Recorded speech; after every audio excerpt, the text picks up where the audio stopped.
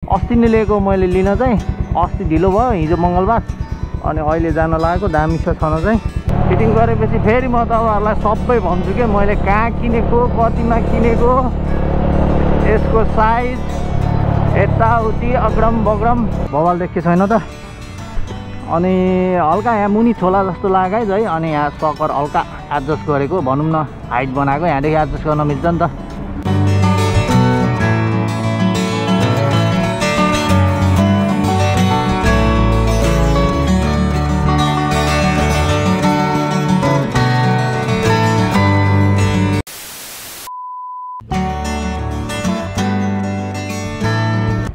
छ त हेलो भनिदेऊ यतातिर। आज विष्णु जैसी सापकोटा आक्का लाक्का भाइ नयाँ अवतारमा गाइजहरू देख्न सक्नुहुन्छ। ए तलको लाएन हौ।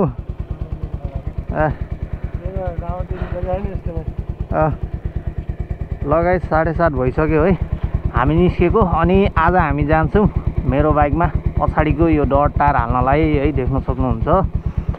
अनि यसको सुरुमै मैले साइज भनिदिन्छु है। चार साठी सत्र हो यसको साइज अनि भी रब्बर भन्ने चाहिँ यसको ब्रान्ड हो है।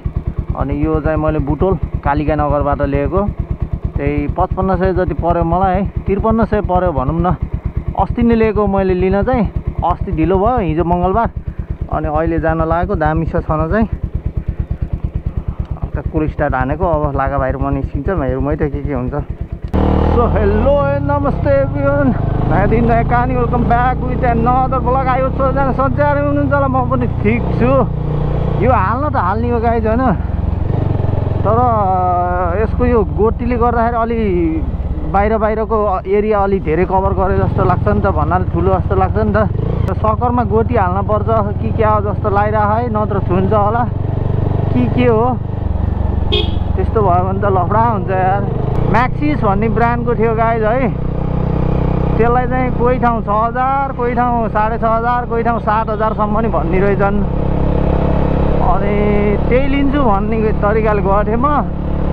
तर पाउँदै पाएन कि बुटोलमा थियो अनि यो सोधेको सस्तो पनि रहेछ कति भनेको? पचपन्न सय भन्दै थियो होइन।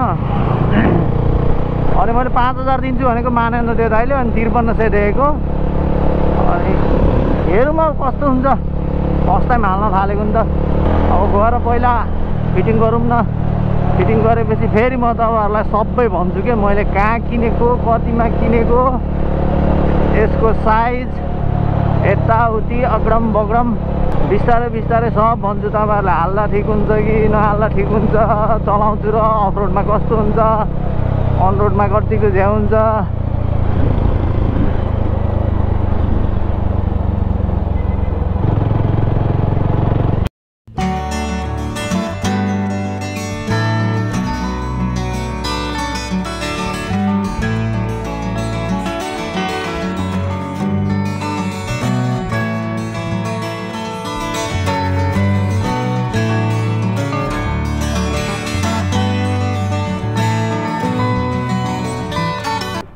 गाइज हाम्रो बाइक चाहिँ एकदम रेडी भइसकेको छ है सब काम। अनि मैले निकालेको टायर यहाँ छ ट्युब पनि त्यहीँ छ यो लहर जानुपर्छ। लुक्स चाहिँ यस्तो देखियो छ है। सर लाएर खै विष्णु भाइ। बवाल देखियो छैन त। अनि हल्का यहाँ मुनि छोला जस्तो लाग्यो है अनि यहाँ सकर हल्का एडजस्ट गरेको भनौँ न हाइट बनाएको। यहाँदेखि एडजस्ट गर्न मिल्छ नि त। अब चाहिँ छुँदैन होला सायद। दामी देखियो मेरो त वान फिफ्टी सिङ्गल डिस्क हो नि त अनि यो चिन चेन कभरहरू यताउति छुन्छ कि अगाडि पछाडि यताउति भनेको काहीँ पनि छैन केही पनि गरेन के? सिधै निकाल्यो हाल्यो अब मैले भनिहालेँ टायर चाहिँ ट्युबलेस बनाएको है।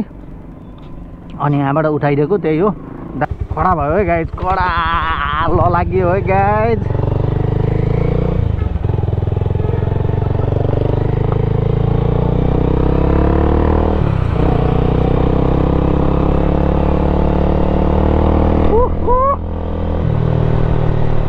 अब रोडमा चाहिँ खासै हिँड्न अब कम गर्न पर्ने हुन्छ गाइज आज त जाँदैन होला म आज हल्का काम पनि छ। दाइसँग अर्जुन दाइसँग अब हेरौँ भोलि पर्सि हुँदै निकाल्छु गइन्छ। अफरोड सफरोड चेक गर्न हिलोमा खाटलाङ खुट्लुङ अनि यो बालुवाहरू भएकोतिर। कतिको स्टेबल हुन्छ त होइन? एक दुईवटा फोटो हान्नुपर्ने हुन्छ गाई त्यसपछि हामी बल्ल गइन्छ। म तपाईँहरूलाई रोकेर फेरि एकचोटि सर र देखाउँछु पनि है। ल लुक्स हेर्नुहोस् गाई आमामामामामा कडा देखियो है।